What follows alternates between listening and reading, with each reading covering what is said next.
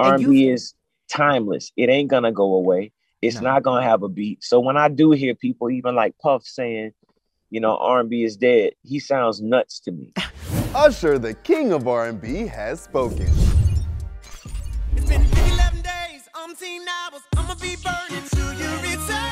The Burn singer told Bevy Smith on SiriusXM's Bevelations exactly what he thought of Diddy, saying this. R&B is mother dead as of right now. There would no. be no hip hop if there were not R and B. Amen. So it's but blasphemous do... to hear people say anything, especially hip hop cats, to say anything about R and B. But you know that Puff was just saying that as a marketing ploy. He just wants to like start up the conversation because he got his new album coming out. We can all agree Bevy was probably right. I'll raise a glass of Ciroc to that.